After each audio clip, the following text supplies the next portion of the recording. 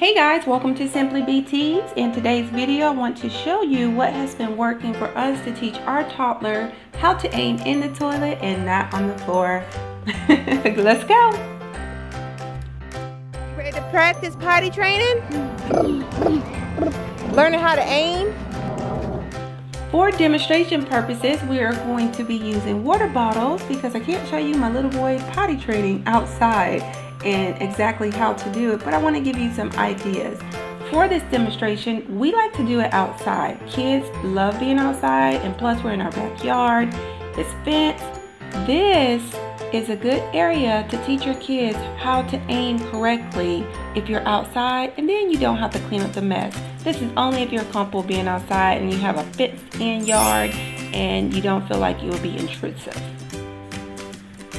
While we were outside, Brock actually had to use the uh, potty. So Daddy said, hey, let's put everything we learned to use. And so Daddy is showing him how to do it correctly and what to do.